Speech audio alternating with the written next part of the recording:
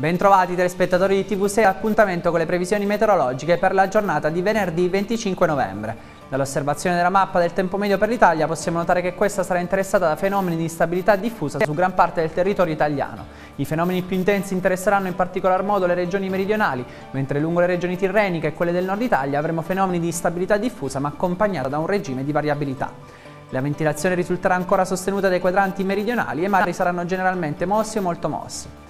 Nel dettaglio, al mattino sull'Abruzzo avremo condizioni di instabilità diffusa su gran parte del territorio, ma si tratterà principalmente di deboli piogge. Nel corso della mattinata stessa le condizioni meteorologiche miglioreranno velocemente con i cieli che si presenteranno poco nuvolosi o nuvolosi e possibilità di deboli piogge nelle zone interne. Nel corso del pomeriggio e della sera le condizioni meteorologiche miglioreranno su tutto il territorio con i cieli che si presenteranno prevalentemente poco nuvolosi. Vi ringrazio per l'attenzione e al prossimo appuntamento.